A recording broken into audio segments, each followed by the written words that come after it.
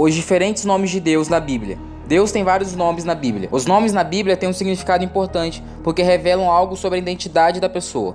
Os nomes de Deus nos revelam características importantes sobre ele. El Shaddai quer dizer Deus Todo-Poderoso ou Deus da Rocha. Deus aparece e chamou Abraão para fazer uma aliança. Nesse encontro, ele se apresentou como Deus que tem todo o poder ou onipotente. Yahvé, este é o nome de Deus que ele revelou a Moisés. Segundo a Bíblia, significa eu sou. Esse nome nos ensina que Deus existe e é eterno. Ele não tem princípio nem fim. Deus não muda, ele sempre é. Yahvé é um nome importante porque nos ensina que ele é o único Deus verdadeiro acima de tudo. Podemos também usar o nome Jesus para falar de Deus, porque Jesus é Deus. Quem ora a Jesus, ora a Deus.